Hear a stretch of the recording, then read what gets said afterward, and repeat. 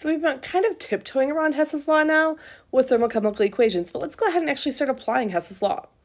Hess's law states that the total enthalpy change, delta H, for a process is the same regardless of whether the reaction occurs in one step or many steps. What does this really mean? Well, this is how I can say if a reaction is reversed, the sign of delta H is reversed. This is um, how I can use different reactions to figure out the delta H reaction that I may not be able to measure directly. What I mean by this is like, let's say I drive to work. I drive one path to work, I drive the same path home. It's the same distance no matter which way I go, right? As long as I'm driving the same road, I'm driving the same distance. Kind of the same thing with a reaction. If a reaction occurs and it takes 5 kilojoules of heat for the reaction to occur, then the reverse reaction would give away that amount of heat law of conservation of mass, right? I can't create nor destroy things. So if a certain amount went into a reaction, if I do that reaction in reverse, then that certain amount of heat is going to come out. The magnitude of delta H, meaning how big it is, is directly proportional to the quantities of reactants and products in a reaction.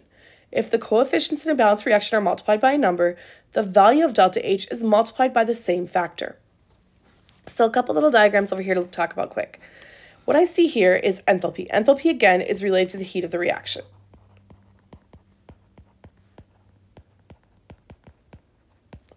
And so I see what this means is lower and higher, right? More heat went in, um, or you can say less and more, whatever.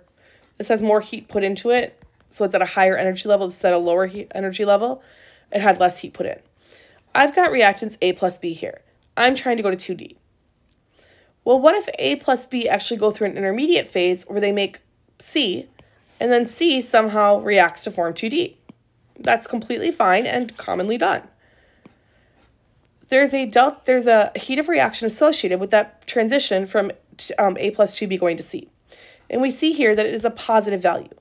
But then C going to 2D has a delta H value that would be a negative because the heat's gonna, the heat of reaction is going to be released from the system. Overall, delta H3, which is what I'm interested in, the process of going from 2A straight to 2B to 2D, I apologize, would be the summation of those. It would be the delta H plus 1 plus delta H plus 2. Now, delta H plus 1 happens to be a positive value, delta H plus 2 happens to be a negative value, and overall delta H plus 3 will be a negative value. But it's a summation of all of them together for the process we're actually looking for. Kind of shown here as well my initial state versus my final state. I'm trying to figure out the delta H of a certain reaction. And maybe I can't measure that reaction directly. There's a number of reasons why, and I'll talk about that in just a sec. But I can go through an intermediate. From my initial state, I can go through intermediate A, intermediate A state, final, and then from A to my final state. The summation of these two energies, how much this took and how much this took, is going to be equal to my desired value.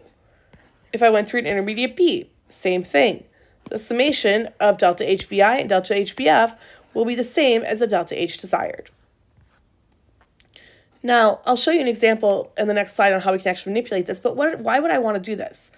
Well, for example, in Chem, um, Chem 2 lab, there's a reaction we do that um, we can't measure directly. We would need to use a bomb calorimeter. I want to know the enthalpy of formation for magnesium oxide. In order to do that, we have to add a very specific amount of oxygen to the magnesium, and we just can't do that under regular open container under constant pressure conditions. And it's just difficult to do. So instead, I do two other reactions. I react magnesium oxide with hydrochloric acid for magnesium chloride and water, and I re react magnesium metal with hydrochloric acid forming magnesium chloride and hydrogen gas I then give students the values for a reaction for water, and they can be able to use Hess's law to figure out the actual targeted reaction, the reaction we're trying to find the value of. So Hess's law is really useful to us because if we can't measure reaction directly, we may be able to measure a set of other reactions and get to the, um, the target reaction. Basically obtaining the information we need without doing a more difficult process. Let's go ahead and apply this. Use Hess's law to calculate delta H for this reaction. This is what I'm going to call your target reaction. It's the reaction you're trying to find the delta H of. You're going to manipulate the other equations so that when you add them up, the summation of them will equal your target reaction. So let's look at the first one. Here I've got one mole of carbon monoxide reacting with a half a mole of oxygen and forming one mole of CO2. The way I do this is I think about it like a puzzle. I compare this to my target reaction. These are what I call your given reactions. I'm going to compare and see what species in my given reactions compare to my target reaction. Well, I see I've got carbon monoxide and I've got carbon monoxide. I've got CO2 and I've got CO2. So those definitely I need, but they're on the wrong side of the reaction. So I'm going to flip this reaction around. I'm going to write CO2, gas, giving me CO, gas, a half a mole of O2 gas. Now, what's not on here and should be, because I keep forgetting to put them on the slide, and I apologize, is the delta H values. They're in the notes, but they are not in the slides. 283.0 kilojoules. So if you're using student notes, you have them. If you're just using the slides, you don't have them, and I apologize. I keep forgetting to put these in here. 571.6 kilojoules. It is a negative there. And this one is delta H is equal to negative 44.0 kilojoules. Now, when I flipped that first reaction, I need to flip the sign on delta H here because now I'm going in the opposite direction. So this becomes positive 283.0 kilojoules. I'm now going to check my second one. I've got two moles of water. I've got water in the reaction. I've got two moles of hydrogen gas. I've got hydrogen gas in the reaction. And then one mole of O2. I don't see any O2. Well, the first issue I have is that they are on the wrong side. Water is on the rea um, reactant side of my given equation, but the product side of my target equation. And hydrogen is on the target um, reactant side of my given equation, or target equation, but the product side of my given equation. So I need to flip this around. But the other issue I have is this 2 here. I only want 1 mole and 1 mole. So I'm going to divide this reaction by 2, or multiply through by 1 half. So flip it and divide by 2. When I do that, I'm going to get H2 gas. Notice I divided by 2, so I don't have a coefficient of 2 anymore. Plus a half a mole of O2 gas, because one, you know, one O2 divided by 2 is 1 half, giving me 1 mole of H2O gas. Or sorry, that is a liquid right there. H2O liquid. Phases do matter in these. Delta H is going to now be a negative 571.6 divided by 2 kilojoules. And the last one, H2O gas and H2O liquid. Well, what I forgot to look at earlier was the phase here. This phase does not match this. I need gas over there. So luckily I have this. Now I did figure it out because the hydrogen here, but luckily I have this here because I actually need this H2O gas on the other side of the reaction. So I'm going to have to flip this one as well. But I only need one mole of it, so I should be good to go.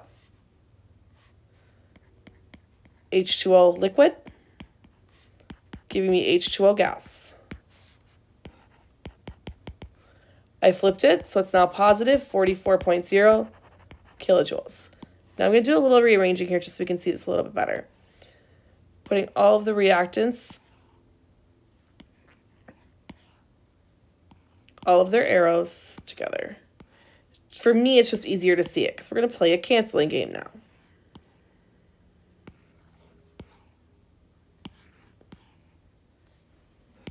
and then my delta H values.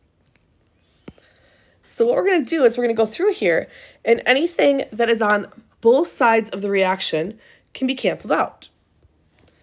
What do I mean by that? Well, I mean like I've got a half a mole of O2 right here and I got a half a mole of O2 right here, but they are on opposite sides of the reaction. So they canceled out. If they were on the same side, they would add together, but because they're on opposite sides of the reaction, I can cancel them out. It's just like any other numerical calculation. It's like saying I have negative 1 on both sides of the reaction. I'm canceling them out. I see what else I can cancel. Well, I've got H2O liquid and H2O liquid, and it's one mole of each. They have to match the moles. If they don't match, then only the amount of moles that actually match will cancel out. So, like, if I had, you know, one mole of O2 here and a half a mole of O2 here, I would cancel this out and have a half a mole of O2 over here, is what I mean by that. let's see, it looks like I can't cancel anything else out. So I've got CO2 gas reacting with H2 gas. I'm going to write these on the top.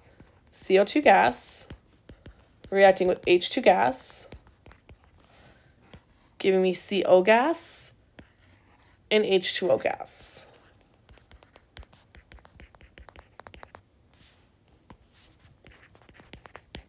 I compare that to my target equation. 1 mole of CO2 gas, 1 mole of H2 gas, 1 mole of CO gas, 1 mole of H2O gas. I've got my correct values. Now all I have left to do is add this up. 283 kilojoules minus 576 point, um, 571.6 divided by 2 kilojoules plus 44 kilojoules.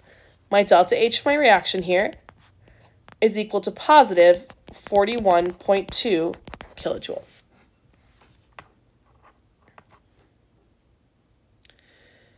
We also have this thing called an enthalpy of formation. So I mentioned briefly a formation reaction before. Formation reaction is defined as forming one mole of a substance from its elements in their most stable form. So how much energy goes in to just form that substance? The standard enthalpy of formation, again, the enthalpy change that occurs when one mole of a substance is formed from its elements in their most stable form. It is a shorthand for a very particular type of chemical equation, and I'll show you some examples of that in a sec. When I write delta H um, with that not symbol, that little um, degree symbol on top that says delta H naught, sub F. F means formation. And that little um, degree symbol up there means standard. So what enthalpy change occurred when one mole of a substance was formed from its elements in their most stable form?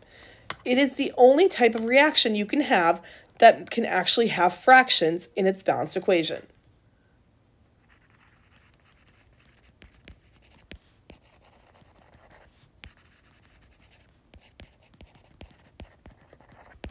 Because by definition, it's forming one mole of a product, it may require fractions. We're going to see that on the very next slide. For CO, the delta H formation is negative 110.5 kilojoules per mole. Write the corresponding thermochemical equation. Well, I'm trying to form one mole of CO graphite. It is being formed from the elements that make it up in their most stable form. So what goes into CO? There's carbon and there's oxygen. But see, I know oxygen is a diatomic its most stable form is O2 gas. It doesn't just exist as O. I know carbon is graphite. How do I know that? I memorized it. Carbon's most stable form is graphite. But this reaction is not balanced. Now students will be tempted to put a 2 in front of here and a 2 in front of here. But that doesn't work because I want the delta H sub F and sub F tells me one mole of product. So I'm required to use a fraction. Carbon plus a half of an O2 will give me CO. And the delta H formation here is equal to negative 110.5 kilojoules. So, important,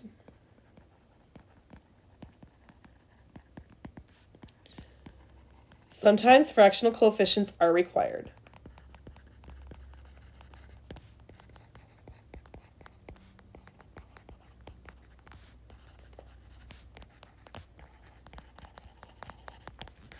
We may not be able to avoid them. Ah, there it is. I knew it was somewhere. What about KClO3? If I tell you the delta H formation is negative 397.73 kilojoules per mole, write the corresponding thermochemical equation. Well, I'm trying to form KClO3.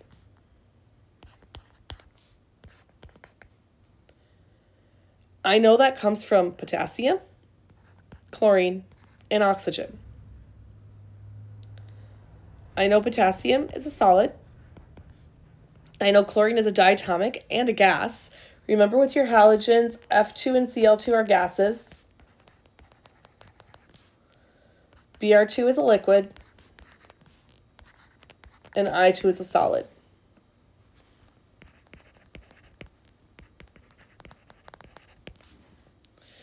And I know oxygen is also a gas and a diatomic. So how can I balance this out? Well, I need one potassium. I have one potassium. I need one chloride. So I'm going to put a half in front of my chloride. And I need three oxygens. So I'm going to say three halves O2. Delta H formation, negative 397.73 kilojoules. And this entire thing is my um, delta H formation thermochemical equation.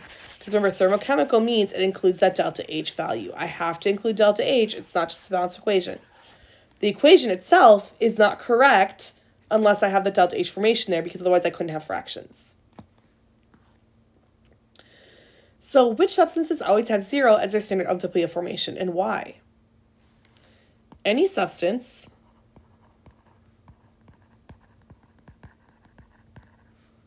or any, not substance, I apologize, any natural element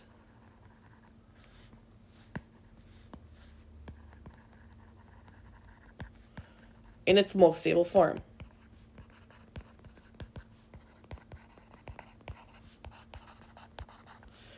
Why? Well, if I have oxygen gas, forming a mole of oxygen gas, delta H reaction here would be equal to zero because nothing happens.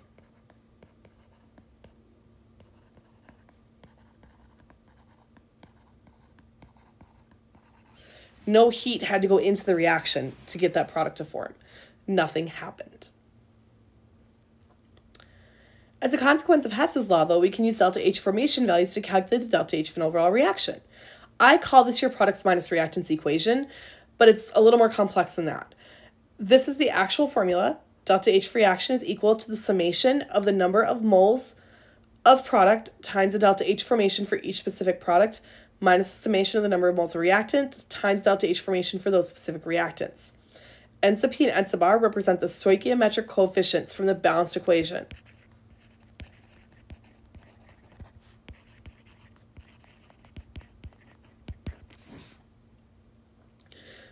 Just remember products minus reactants, but you can't forget the coefficients. in the calculation itself. Let's show you what I mean. Use the following standard enthalpies of formation to calculate the standard molar enthalpy of combustion of glucose. What is combustion? Combustion is when I react something, in this case glucose, C6H12O6, with O2 to form CO2 and water. I need to balance this out. So six carbons, excuse me, six carbons, 12 hydrogens, 12 hydrogens. Let's see, on this side I have 12, 18 oxygen, six. I need a six here. So I got my reaction balance. What I want to know though is the standard enthalpy. Okay, I want to find delta H of combustion. That's what I'm trying to find. You could also call it delta H for reaction, but you can say combustion because it's a combustion reaction. Either one would be correct. You move this up just slightly. So how am I going to do this? Well, I know my delta H reaction, or combustion, whichever one you want to call it, is going to be equal to the products minus reactants calculation, right? So 6 moles of CO2 times delta H formation of CO2 plus 6 moles of H2O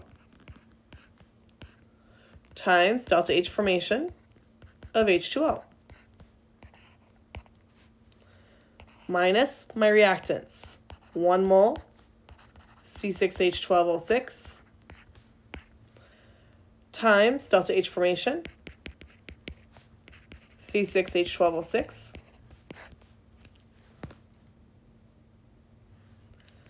Plus, I'm going to run out of room.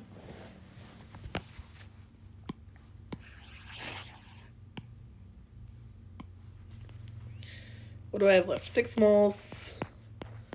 O2. Delta H formation of O2. Okay. So let's go ahead and put our values in. We've got our values in our table above. Delta H reaction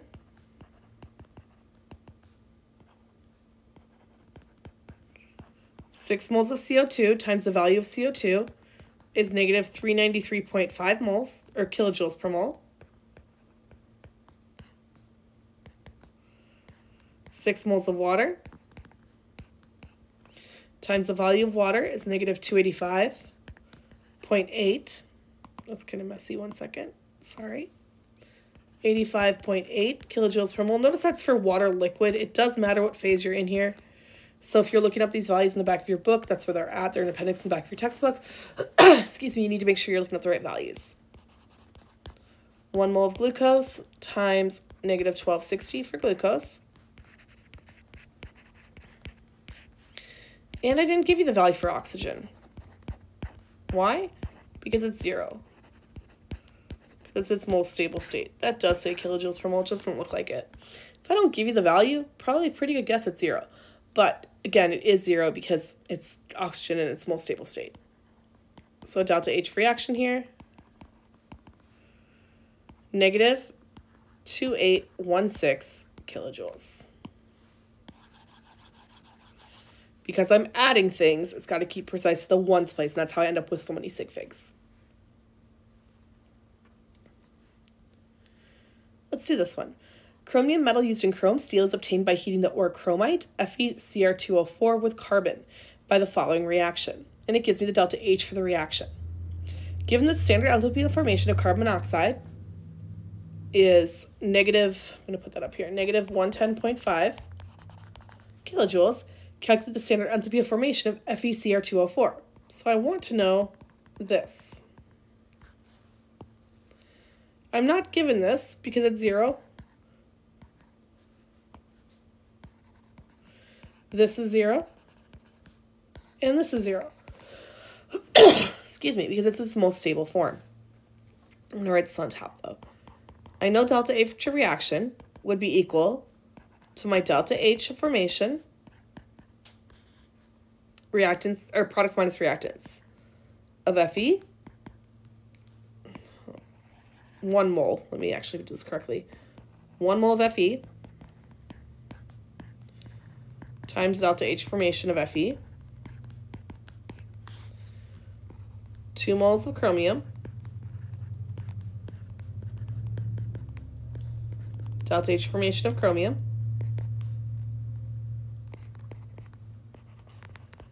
Four moles of CO. delta H formation of CO minus my reactant side, 1 mole of FeCr2O4, delta H formation, FeCr2O4, and 4 moles of carbon graphite times delta H formation of carbon graphite. But the thing is, I know that my delta H reaction here is equal to 988.4 kilojoules. So I'm going to plug everything in that I know. I know that this goes to 0. This goes to 0. This goes to 0. So I'm going to simplify this and not include those. 98.4 um, 8.4 kilojoules is equal to 0 plus 0 plus 4 times negative 110.5 kilojoules minus delta H formation FeCr2O4 should be 1 mole times that. I'm going to run out of room. I apologize. Plus 0. Actually, hold on, I can fit that in. Move this over.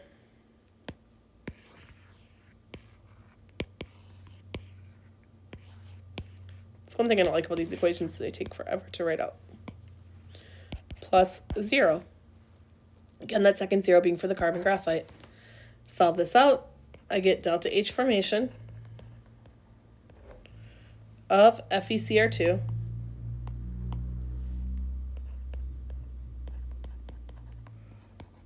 04 to be equal to negative 1430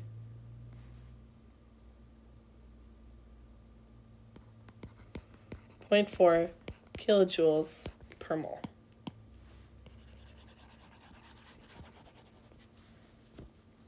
Now, where are my sig figs there? Subtraction, subtraction, one decimal place, one decimal place. Yeah, okay. 1430.4 kilojoules per mole. So we're just a couple more diffi- more difficult problems. Um, handful more difficult problems to kind of tie up this unit. In a coffee cup calorimeter, 1.5 grams of nickel 2 chloride is mixed with 50 grams of water at an initial temperature of 25 degrees C. After dissolution of the salt, the final temperature of the calorimeter contents is 24.25 degrees C. Assuming the solution has a heat capacity of 4.18 joules per gram degree C, and assuming no heat loss to the calorimeter, calculate the enthalpy change for the dissolution of nickel 2 chloride in units of kilojoules per mole. So, first thing I want to do, write out the first law in words.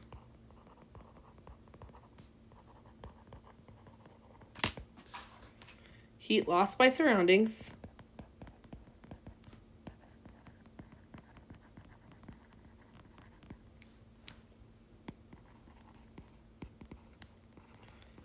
is gained by system. How do I know that heat has been gained? Because the surroundings lost the heat. What I am actually measuring here, and this is kind of hard again for students to visualize, but I've got coffee cup calorimetry, okay? So I've got two coffee cups nestled together.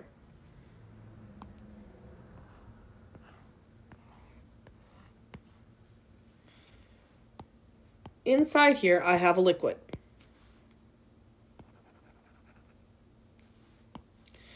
Inside here is the nickel 2 chloride splitting apart.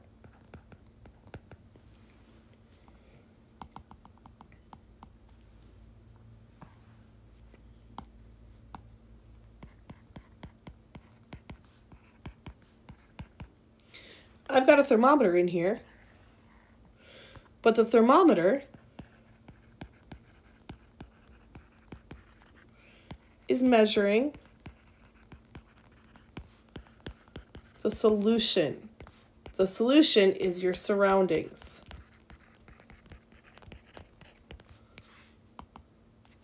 Why? Because the system is the nickel ions and chloride ions. So I'm measuring the surroundings. In the question, it tells me that the initial temperature was 25 degrees C. The final temperature was 24.25. That means the temperature decreased.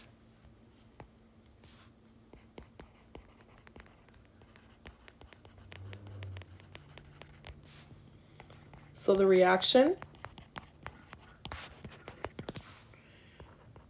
is endothermic. It takes heat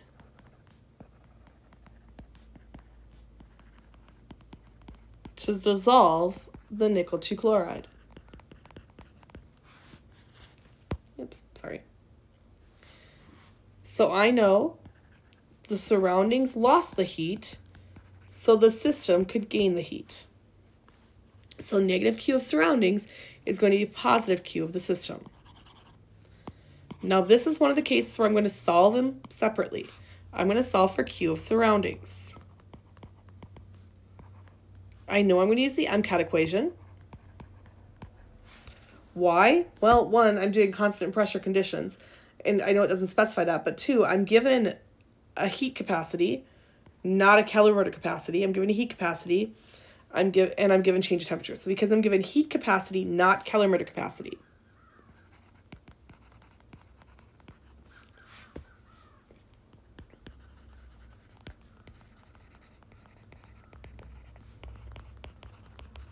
Of the solution. Q equals cat is calorimeter constant. So, how much does my solution weigh? Well, I've got 50 grams of water, but I've also got 1.50 grams of the nickel 2 chloride. So my system actually weighs the whole their surroundings, the cube of the surroundings, the whole thing, your solution contains your nickel 2 chloride ions. So it's the mass of the entire thing, 51.5 grams. Times Q, or sorry, times C, your specific heat capacity, 4.184 joules per gram degree C. Yes, I know it says 4.18. I have it memorized 4.184. I don't care if you use 4.18. Get to three sig figs. You're fine with that. I'm fine with that. Excuse me. Times 24.25 degrees C minus 25.00 degrees C. Again, watch it right here. This is where you're going to make mistakes in your sig figs. When I subtract this, I get negative 0.75 degrees C. That is two sig figs. My degree C cancel with that degree C. My grams cancel and I get joules. I have two sig figs and it's negative 160 joules. That is the amount of heat the surroundings have lost to the system, which means that the system gained 160 joules of heat. But that's not what the question's asking. The question is asking for the enthalpy change in units of kilojoules per mole. So I need to figure out the number of moles of nickel 2 chloride that were actually dissolved. 1.50 grams nickel 2 chloride. 1 mole of nickel 2 chloride. If I add the molar mass of nickel 2 chloride, I get 129.6 grams. Gives me 0 0.0116 moles.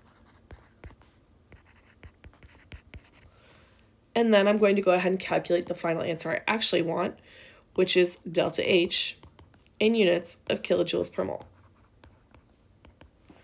I know I have 160 joules, and it's 0.116 moles. So I'm going to convert that to kilojoules. I get 14 kilojoules per mole. So not a lot of heat went into it. 14 kilojoules is a pretty small amount, which also explains why nickel 2 chloride will actually dissolve. We'll talk more about this in second semester when we revisit um, thermodynamics. But the two competing factors in chemistry we really see play out is energy and disorder. And so, although this system takes energy to actually dissolve the nickel 2 chloride salt, it still dissolves because it's producing more disorder in the system. What I mean by that is one nickel chloride breaks apart into nickel 2 plus and two separate chloride ions. So the disorder of the system is overriding the heat cost the the heat cost of heat for the solution um, for the salt to actually dissolve in solution. Let's work another one. In a coffee cup calorimeter, 50 ml of a 0.1 molar silver nitrate solution and 50 ml of a 0.1 molar HCl solution are mixed to yield the following reaction. The two solutions were initially at 22.60 degrees C. The final temperature is 23.40 degrees C. So,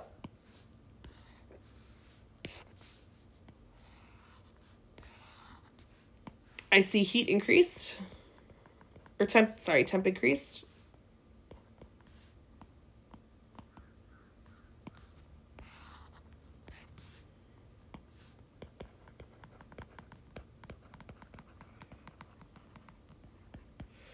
It's exothermic.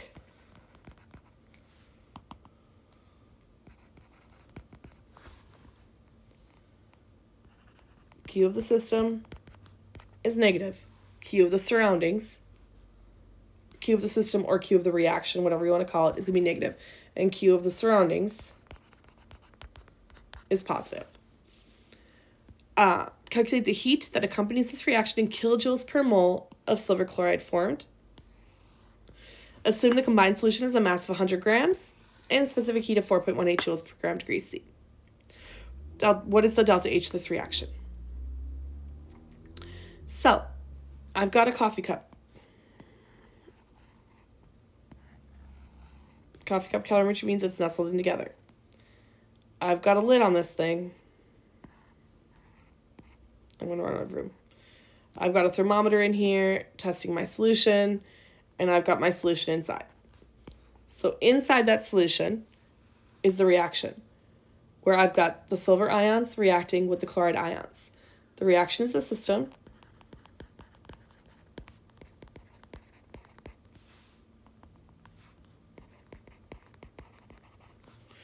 So this is my system.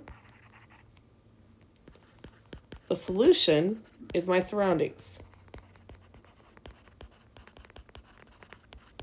In the question, it tells me silver nitrate is reacting with hydrochloric acid, forming AgCl, and then, of course, whatever's left over, right? Let's see. Wrong button.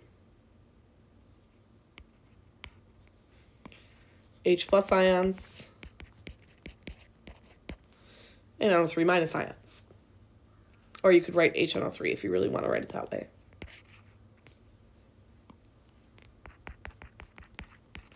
I did that intentionally to try to kind of emphasize what these are, though. These are your spectators. So they're part of the solution, or part of surroundings, sorry. What we're given here is your net ionic equation. Because it's all I really care about. I don't care about the spectators. They're part of the surroundings. I know that I measured 50 mils of a 0.1 molar silver nitrate solution and 50 mils of a 0.1 molar HCl solution. I know delta H must be negative. because it is an exothermic process. So what else do I know?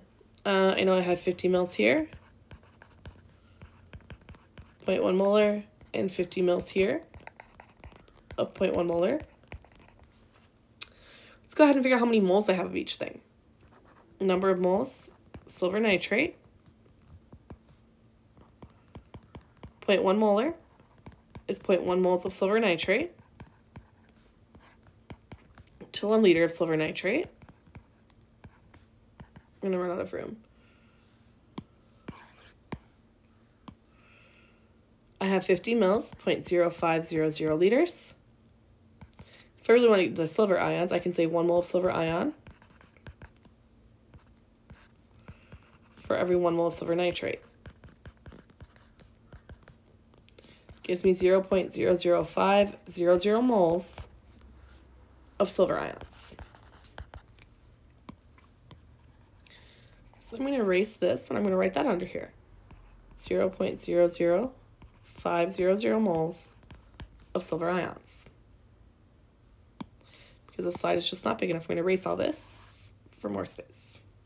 Do the same thing for the chloride ions. Number of moles of Cl minus, if I'm starting with 0.100 moles of HCl per liter of solution,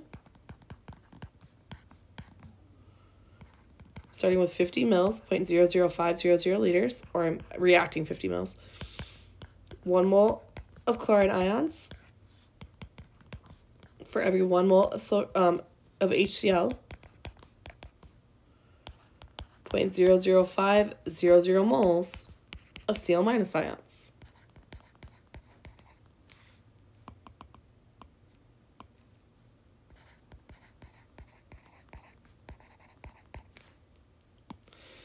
I have equal molar of each one.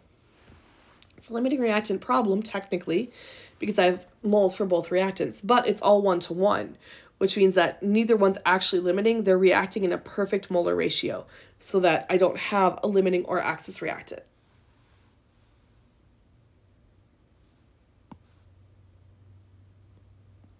Erase this. If I put the first law in words,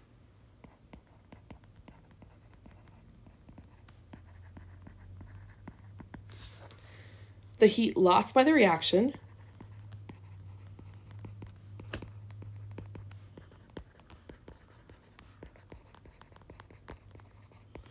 must equal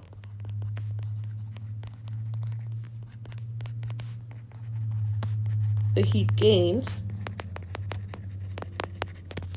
by the solution.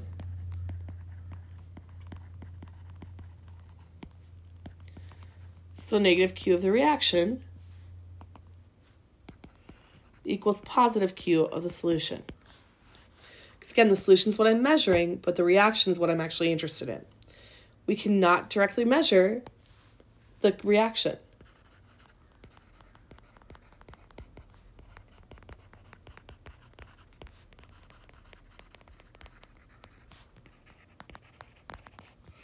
But we can calculate Q of solution.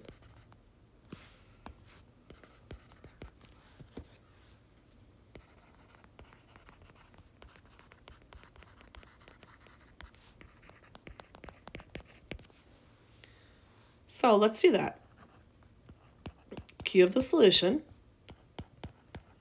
100 grams, 4.184 joules per gram degree C. And my temperature went, final temperature 23.4, 0 degrees C, initial temperature 22.6, 0 degrees C. Difference here is 0.80 degrees C, so two sig figs calculate this out, and I'm going to get negative 33 or 330 joules.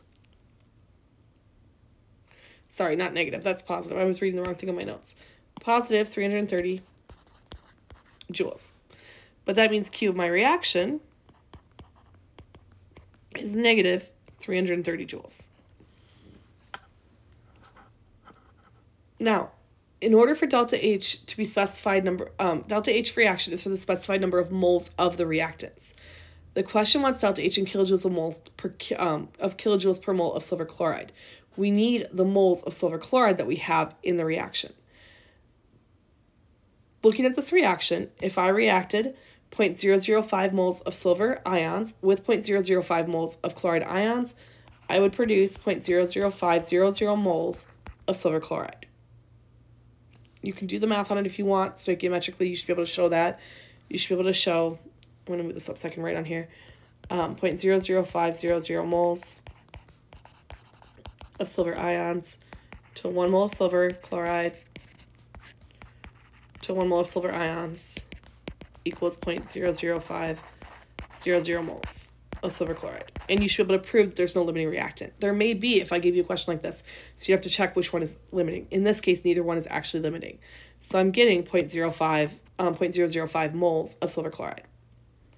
My delta H my overall reaction here is my Q of my reaction divided by the number of moles of silver chloride in units of kilojoules per mole, negative 330 joules divided by 0.00500 moles of silver chloride. Convert to kilojoules over um, kilojoules to moles. I get negative 67 kilojoules per mole of silver chloride. So a lot of thought went into that question, not so much work-wise, but a lot of thought goes into that question on how it's actually solved. Okay, what about this example? When 3.93 grams of lactic acid, C3H6O3, are burned in a bomb calorimeter. Okay, I see the word bomb calorimeter. I know that's going to be Q equals cat. That has a total heat capacity of 10.80 kilojoules per Kelvin. Oh, okay, I'm going to use Kelvin here instead of degrees C. Totally fine. The temperature of the calorimeter increased by 5.43 um, Kelvin. So it's actually telling me my change in temperature directly. Nice. Assume that delta H reaction is equal to delta E reaction, given the delta H formation of water is negative 285.8 kilojoules per mole and delta H formation of CO2 is negative 393.5 kilojoules per mole, calculate delta H formation of lactic acid. Okay, so I've got this here, I've got this here. I know that Q equals cat because it says bomb. It tells me the calorimeter constant is 10.80 kilojoules per Kelvin. And it tells me my temperature change is 5.43 Kelvin. This gives me 58.6 kilojoules. Now, I want this I want to actually find the delta H formation. But I need to first find what does this actually mean? Lactic acid was burned in a bomb calorimeter. Cool. That means it was combusted, by the way. Because that's what com- um, bomb calorimeters are doing, is they're combusting it. C3H6O3 solid reacts with O2 gas to form CO2 and water. Balance this reaction out. Three carbon, six hydrogen, and I'm going to need a three in front of my O2 here to balance it out.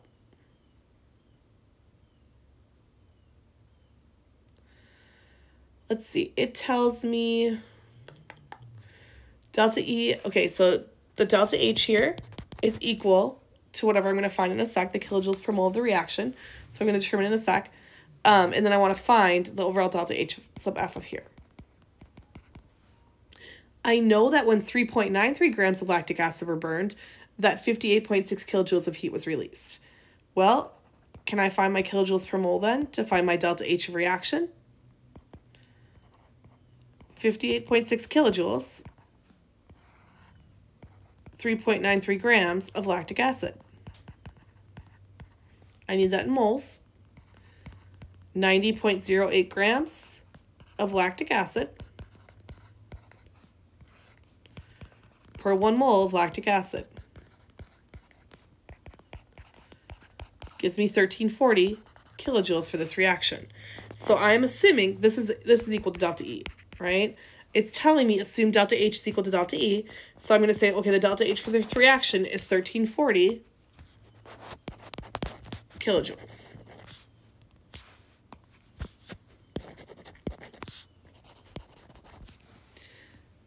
Now I know the overall reaction. I know the delta H, is the overall reaction. I can use Hess's law to solve the rest of the question.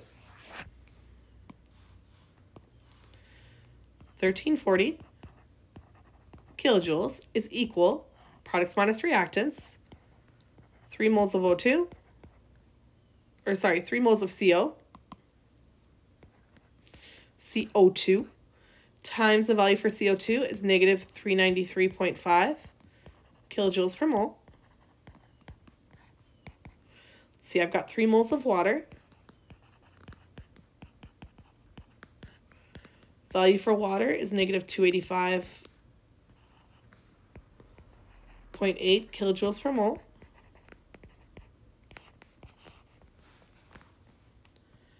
Trying to find this value for lactic acid. It's 1 mole of lactic acid, C3H6O3, times what I'm trying to find, delta H formation of the C3H6O3, and 3 moles of O2, which I'm going to run out of room for which has a value of 0 kilojoules per mole because it's most stable state.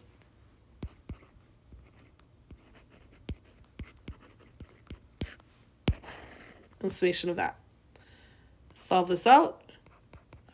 Delta H formation. Sorry, this is so messy. It's just so hard for me to write on the bottom of the screen.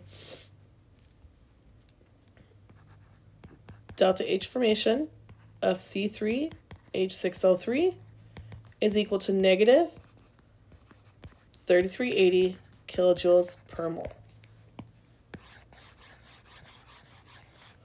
So kind of combining a couple of different concepts we've seen in the question. Okay, so we used our bomb calorimeter to find the delta E of the reaction. The question told us to assume that delta E and delta H were equal, which made you know, we were able to do that then, and then be able to use that with Hess's law to figure out the overall answer. And we have one more question to solve. Excuse me. The combustion of propane, C3H8, produces 20, 2,220 kilojoules of energy per mole of propane consumed. What mass of grams of protein, what mass in grams of propane will be required to heat a 53 gallon um, gallons bathtub water from 25 degrees C to 35 degrees C if the process is 80% efficient? And it gives us a series of conversions one gallon is 3 point, one gallon is 3.785 liters. One calorie is 4.184 joules. Density of water is 1 gram per mil. And the specific heat of water is 1 cal per gram degree C. So I know Q equals MCAT. Let's see. I know my mass. 53 gallon.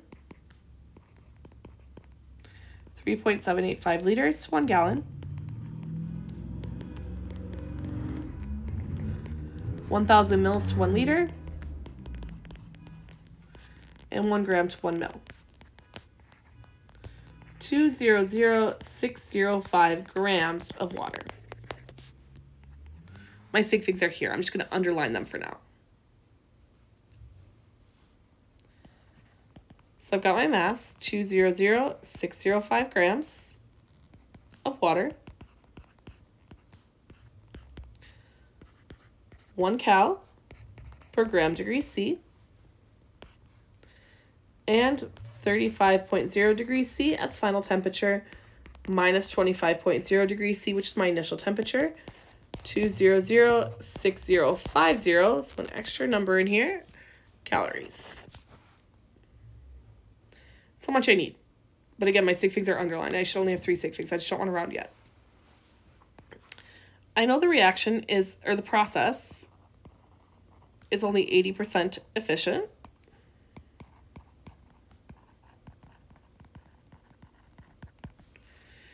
So, of that 2006050 calories, only 80% is usable.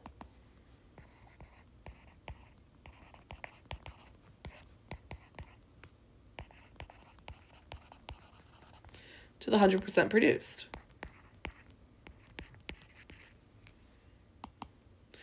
One six zero four eight four zero cals needed.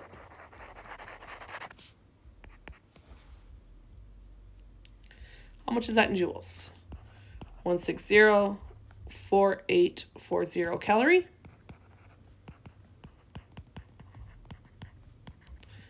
Four point one eight four joules to one calorie. Six seven one. Four six five one joules looking pretty big numbers here. But if I put that into kilojoules, it wouldn't be so bad. 6,700 kilojoules. Um, and how many grams of this, of propane, is this actually correlate to? Number of grams, C3H8. I need 6, 7, 1, 4, 6, 5, 1 joules. And yes, I could have rounded by this point, but I'm going to keep underlining those sig figs until the very end at this point. It's a commitment thing. Um, I've already done it. I might as well keep doing it. I know that one kilojoule is 1,000 joules. I know that one mole of propane, C3H8, produces 2,220 kilojoules of heat. And I know that propane weighs 40.09 grams per mole.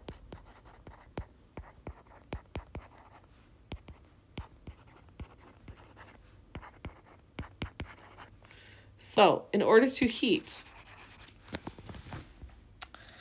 a bathtub of water that contains 53.0 um, gallons of water from 25 to 35 degrees C with an 80% efficiency, I would need to burn 133 grams of propane gas.